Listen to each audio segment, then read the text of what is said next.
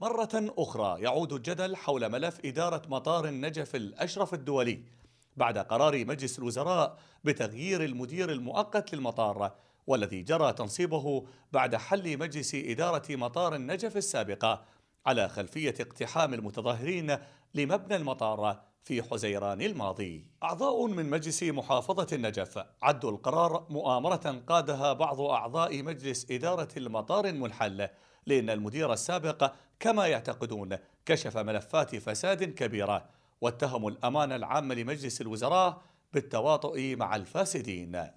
آه، هناك ملفات فساد كثيرة منها مدرج المطار ومنها القاعة مال استقبال المسافرين صالة استقبال المسافرين.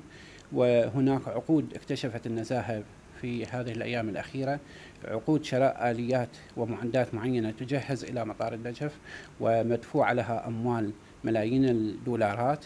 وهذه العقود لم تنفذ لحد الآن منذ سنوات.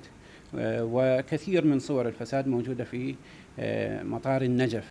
صراع نفوذ بين قوى السلطة في النجف.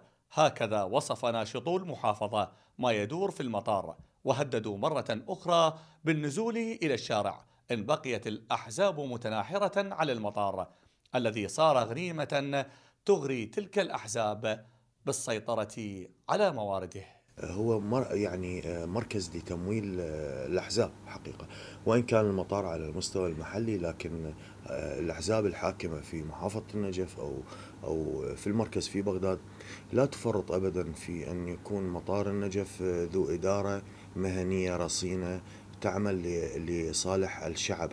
ملفات فساد كثيرة وكبيرة في المطار يكشف عنها بين فترة قصيرة وأخرى أقصر منها.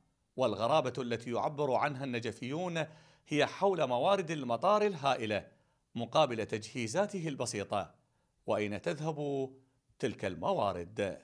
من النجف محتز العبودي الفلوجة.